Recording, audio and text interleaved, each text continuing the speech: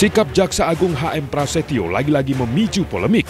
Pasalnya, kader Partai Nasdem itu seolah memiliki agenda sendiri yang berlawanan dengan kebijakan Presiden.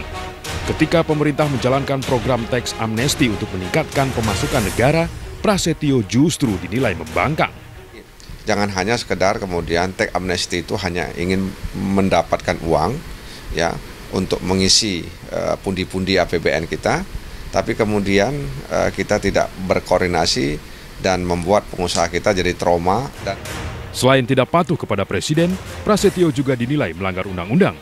Terkait sengketa pajak Mobile Aid, sejumlah pihak menilai Prasetyo melakukan sejumlah kebijakan yang syarat kepentingan. Pertama, Prasetyo dinilai proaktif memerintahkan jaksa menyidik sengketa yang menjadi domain penyidik pajak. Itu korupsi, ya ada transaksi fiktif. Kalau misalnya ada indikasi tetap pajak juga, tapi penyidik pajak. Jadi tidak boleh penyidik di luar pajak, penyidik soal itu.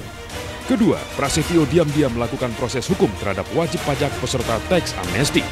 Padahal pasal 20 Undang-Undang Amnesti tegas melarang.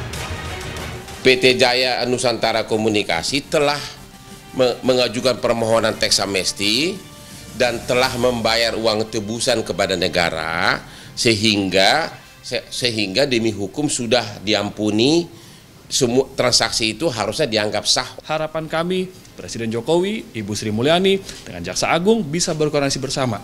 Kasus ini sudah ikut teks amnesti, tolong ditutup. Itulah sebabnya banyak pihak mempertanyakan sikap pemerintah yang seolah melindungi pembantu presiden yang tidak taat perintah dan mengganggu rasa keadilan bagi masyarakat. Tim Liputan MNC Media melaporkan.